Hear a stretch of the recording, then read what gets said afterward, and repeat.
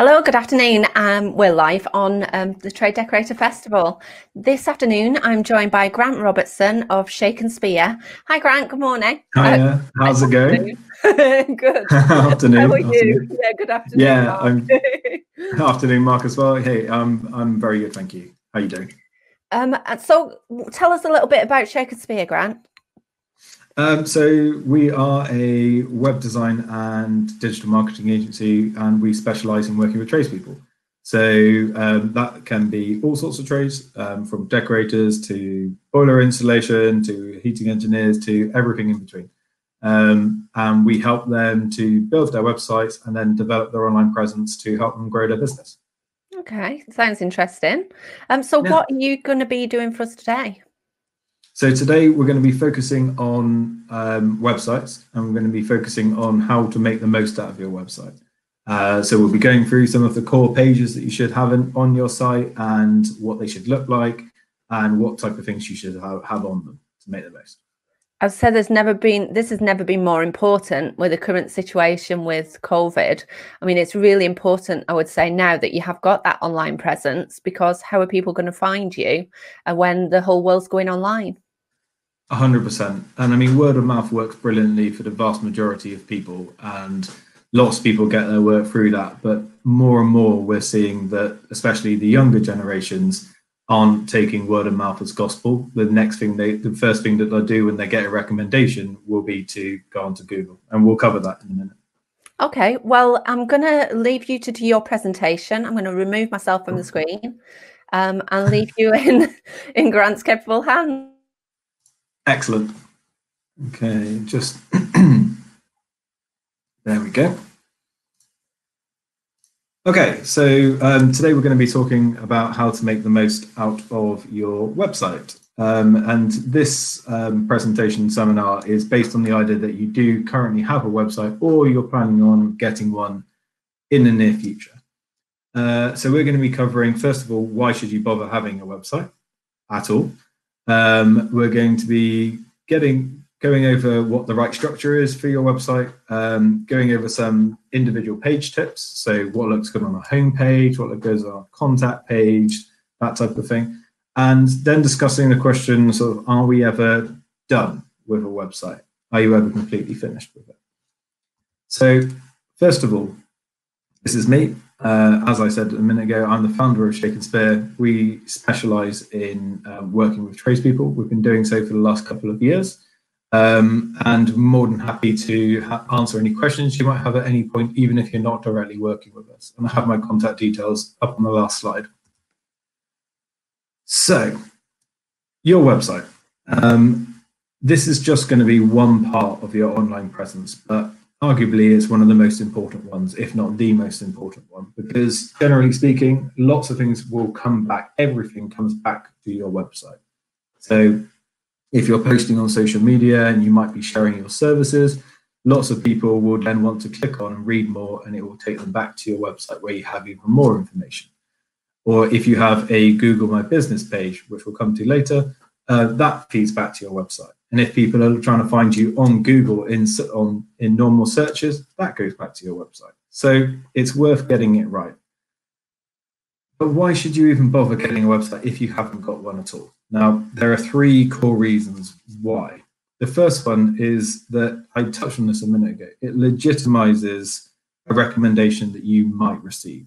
So let's say um, someone goes onto Facebook, as many people do nowadays, and says, I'm looking for a decorator in the Bristol area.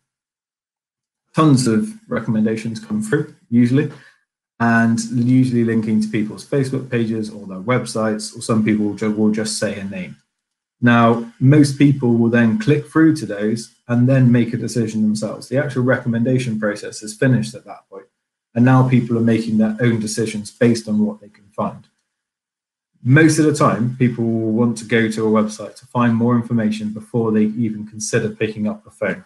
So it's worth having a website to legitimize yourself as a good recommendation. The next thing is it simply makes you look more professional. It's what people have come to expect of a professional outfit nowadays. And finally, it's just a good avenue to promote your services, especially if you have it lined up properly so that you are able to rank on Google. Oh, I've gone through these slides very quickly. Um, so yeah, you have the professional look where we go through the website and people can just take their time. They can come back to it as well. And the promotional avenue is really important as well, especially when you can link individual services which you might offer rather than just having a general blanket cover all. So when it comes to your actual website, and we're talking about the actual site structure of it, what what are the core pages that your site should have? And we'll go through each one of these individually. Now, lots of people opt for, and it's a good first step to go for a one-page website where all of the information is on one long scrolling page. Now, these sites are great in so much that they serve a purpose. They serve as a good first rung on the ladder, um, and they serve as a good legitimizer. But the majority of the time, they are just that. They are just the first step. Before long, people want to expand on the services that they offer. They want to um, share more of the work that they've done for a gallery, for instance. They might want to share more testimonials or case studies, client reviews. And this is where sort of the one page website begins to run out of, well, not quite space, but it begins to look a bit cluttered if it's just one long scrolling page. So they work to an extent.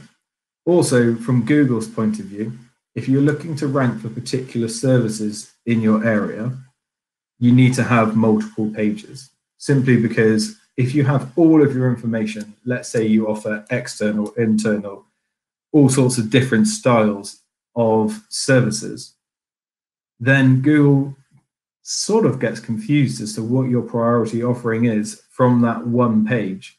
And it doesn't really rank you that highly for, for any of them. Whereas if you have individually tailored pages, and we'll cover this again shortly, it helps you, it helps Google understand exactly what's what services you're offering, and you stand a better chance of ranking higher, getting towards the first page and then the top three. So first page that we'll come to, and that's your homepage. This is the page that lots of people will come across. This is the page that most people spend the most amount of time on. Now, that's why it's really important to focus on why the customer should pick you. And in my opinion, this is your opportunity to grab the potential customer. If it's not particularly well designed, if it looks a mess, it just portrays the wrong impression. So it's worth spending time to get something that looks nice and clean, clearly explains who you are, clearly explains what you do and where you are, and allows the customer to explore the rest of your site easily. Now, I always say that it's worth being personal because people at the end of the day like dealing with other people. They don't like to feel that they're just another cog in the machine or just another number in your accounts. They want to make a personal connection with someone, especially if they're going to be coming into their home. So we like to say try to make sure you personalize it. So avoid using stock imagery that we found off a different website. Try to include pictures of your own work, at least. If not, include pictures of your livery, your vans, your logos, and really you could also include pictures of yourself, especially on your about pages, which we'll come back to later. So we want to keep them nice and clear, not cluttered, and also clearly have your contact details available for people as soon as possible. Because lots of people, including your current customers, will want you to type in your name, get to your website, click on your phone number to give you a call, because they might not have saved your number, for instance. So it's worth having those nice and clear. Same with your email address. So here's an example of a site which we actually only just launched last week um, for Harrison Decorators in Bristol. And this is a picture, it's really nice, clean, bold picture, which um, was provided to us as a finished clear piece of work. And it worked really well as a nice header. It clearly says what they are. Just off the screen, we can't see their, um, their title, but it, it also has clear calls to action. And that means that people can, if they're a new customer, they can click and get an estimate straight away or they can call and they can click the telephone number and on a mobile device that'll go straight to their um, ringing app so they'll be able to contact them straight away Also, on your homepage, now is you can include testimonials in lots of different places, but a homepage is a great place. Now, it's worth including a few different ones and ones which will offer different services or explain that you worked in a certain way, as long as they are linked to someone's name and hopefully also a location, then that means that people will understand that it's a genuine review and that people will be able to see that they are recommending your services. So the best reviews that you can get actually explain the process that you might have gone through. That would be uh, I employed this person to do X. Uh, they completed it in Y and they were excellent because of this, this, this, rather than just a straightforward five stars, they're great. Because that doesn't help people get into the mindset and understand what it's like to work with you. So when you're asking for, for reviews, feel free to prompt people with a few questions. So like, could you just explain what it was like to work with me? What sort of service you got? Especially if they're a customer who you got on with, then most of them won't hesitate in coming forward and, and helping you out. This is an example of a clear top of a homepage, and it's got a good example of um, some personalization. Uh, in this instance, Shane of SDL PKP, PKB, um, he set up this business in loving memory of his granddad, um, which we thought was a really nice touch. Um, he's focused on building customer satisfaction, got five stars very clearly. Um, he's got his telephone number and email address that scrolls with the page, um, which are able to be clicked on. And he's got a clear menu at the top with his logo and an endorsement as well. And that tells you a lot of information from the moment that you land on the page. So it's worth having that nice and clear. The next page that we come to is the contact page. So we're going to have a scrolled example here. So the first thing you see is getting a free quote aimed at new customers.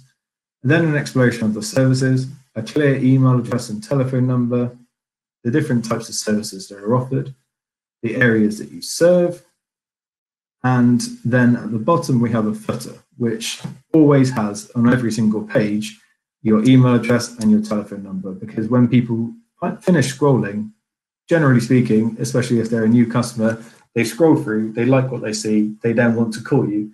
So it's worth having that at the bottom of every page.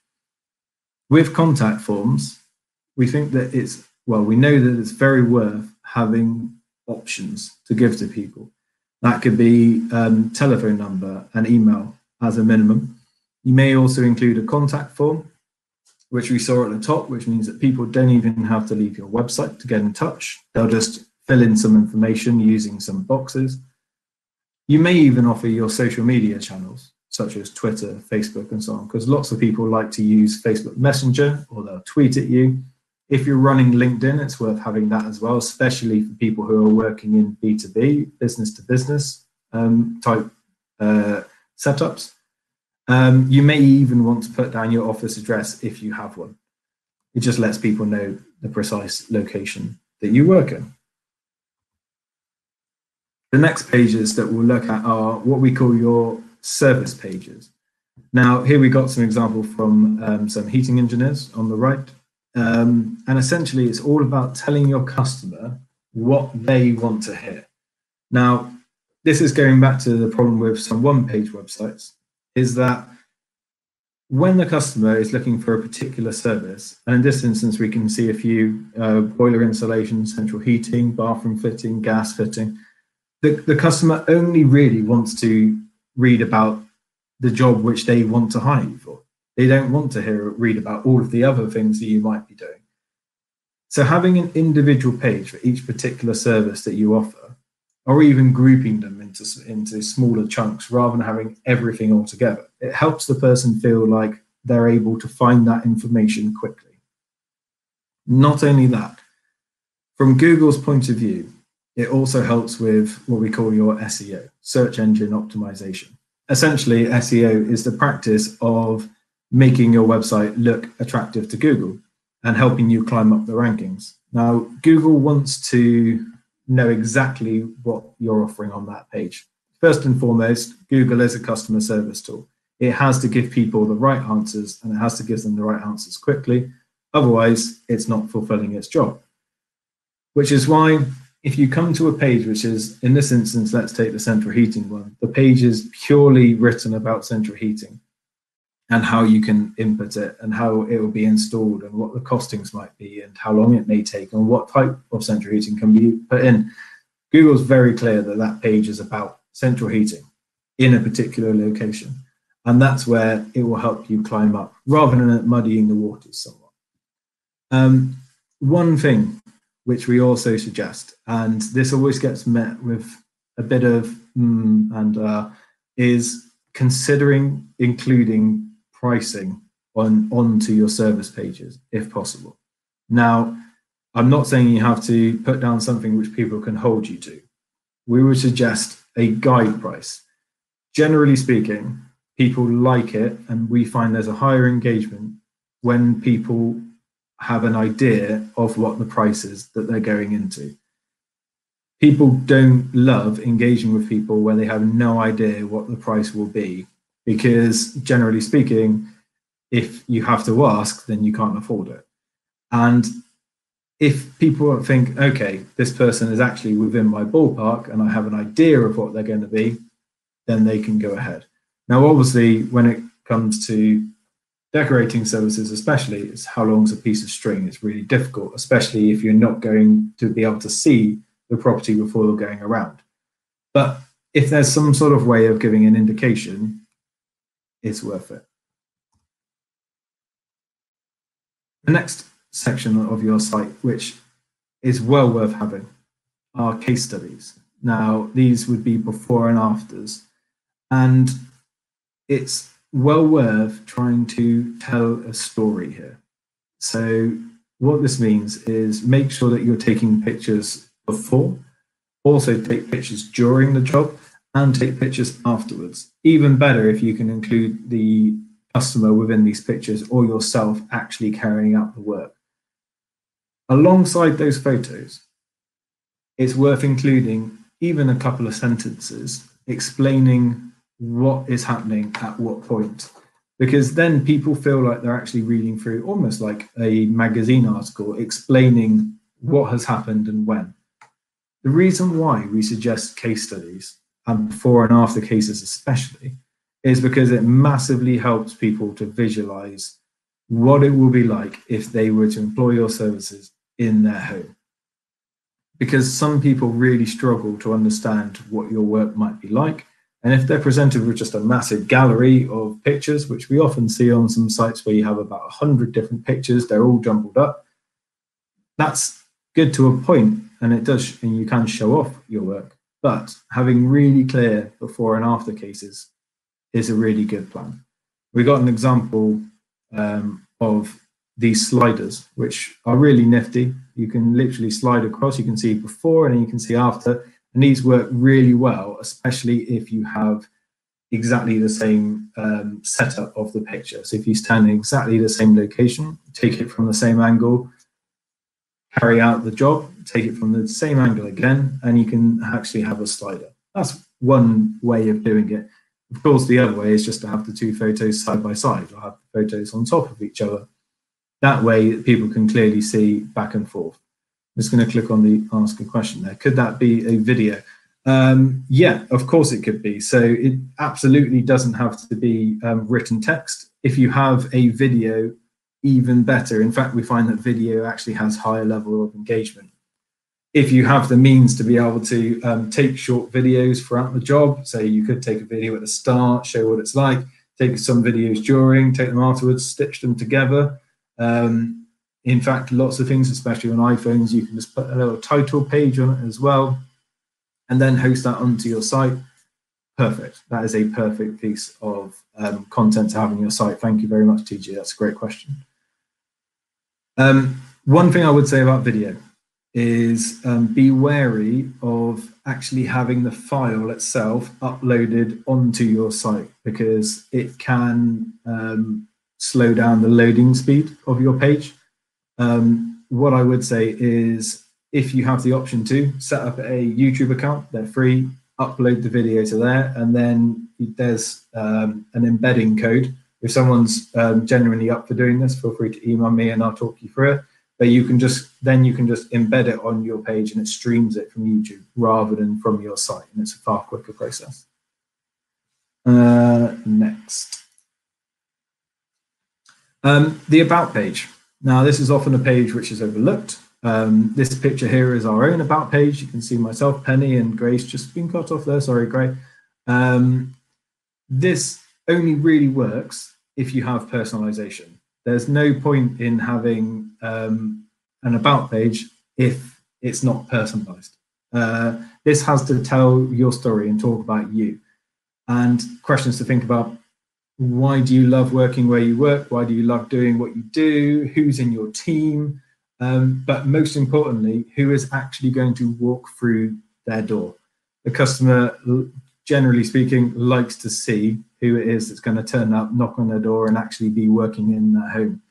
Um, it just helps them to build trust, helps them to understand who you are, and it's a nice touch. It's a very nice page to have, and we find that they are also high frequency in traffic. People tend to go to homepage, services, about page, before they consider contacting you. Um, London Gas, I will come back to you on the links question. That's a good question. I will save that one for the end.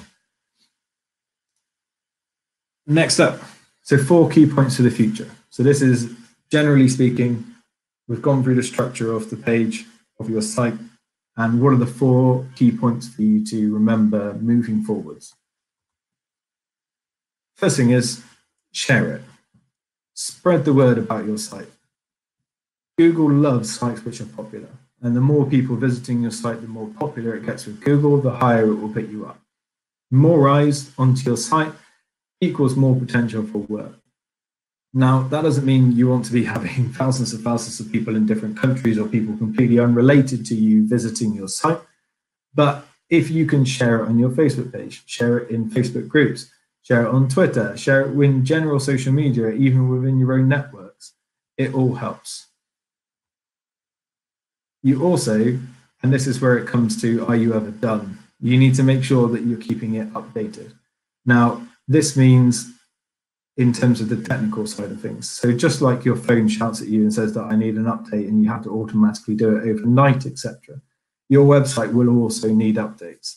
Now, this is less likely if you're using something like Wix or Squarespace. Generally speaking, they'll do it automatically for you. If you're using WordPress or you're building one yourself, make sure you're going in and updating it. If you ignore them, which is very easy to do, um, it could actually end up stopping altogether and breaking. So we want to avoid that where possible. Also, we want to maintain the site.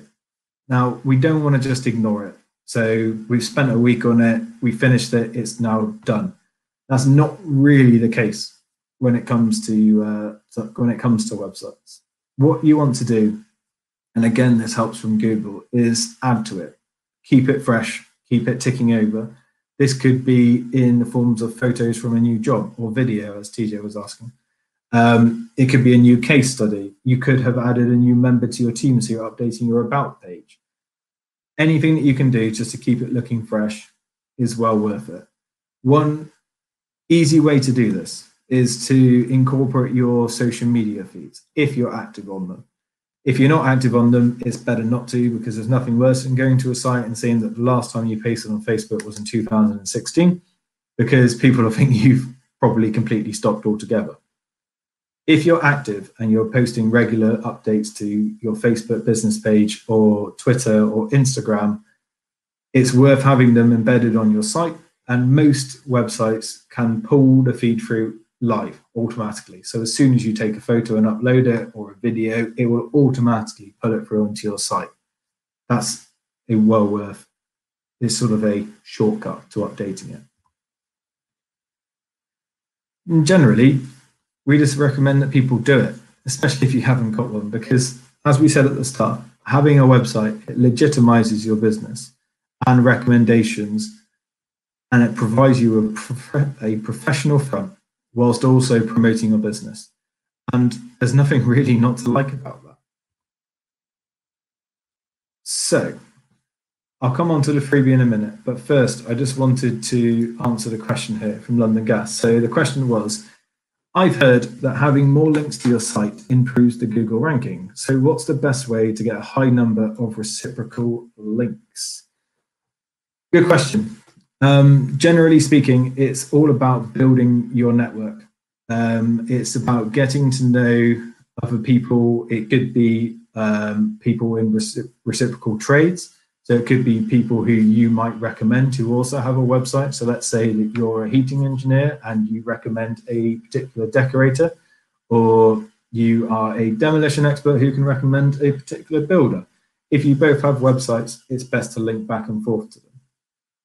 Other ways could be um, getting involved in local directories, what we call local citations. So um, most cities um, have a local index. If you Google it, um, I know for sure in Bristol, there's like the Bristol Post, local news outlets where you can just, you can make a small profile and you can put a link to your site. Um, those ones link back to you and it passes on some kudos in Google's eyes. So it, if Google will generally trust bigger, well-maintained sites like the BBC, for instance, and if they link back to you, it's showing Google that you're a trustworthy source. Um, and doing so massively helps your Google ranking, you're right. Um, other ways, um, you could, well, we've got local citations, um, linking from other businesses. Another thing that we came across recently was that um, I met a guy who uh, does demolitions and um, they give away local Christmas trees to, to hospices in the local area around Christmas, um, and that's a really nice um, thing that he does. Um, and we said he doesn't necessarily do it for publicity, but thing to get out there, especially because it's a pleasant thing. And actually, some news outlets were were happy to run that story and link back, and that massively helps as well. So yeah, any links that you can get from legitimate, relevant sources, do so one thing I would say, definitely don't go somewhere and buy links because Google knows and Google will punish you for those bought links if they all appear overnight. So, finishing up, um, one thing to say thank you to everyone who's turned up today or anyone who watches back is um, that I'm more than happy to sit down um, and do a one-to-one -one with anyone to discuss their business in detail. So um, areas that you might be able to improve your site. We'll look over it and make some suggestions for you. Um, more than happy to offer advice. No, uh, no strings attached. Um, email address is on the screen, so feel free just to jot that down and send me an email. Um, and also, as a thank you for all coming along, um, we'll offer 10% off of um, any of our website builds if you decide to go that route, or our Google My Business services, um, which are covered um, on our website as well um, just use that code there. Uh, in the meantime, here are my contact details or our contact details. Um, feel free to get in touch. Thank you for listening. Thanks, Grant. That was really informative presentation, and I'm sure people got a lot from that. Thanks for joining us. Sure, you're welcome. Have a good afternoon. Thank you, and you. Thank you. Thank you, everyone. Thanks, everyone. Bye-bye. Thanks, guys. Bye.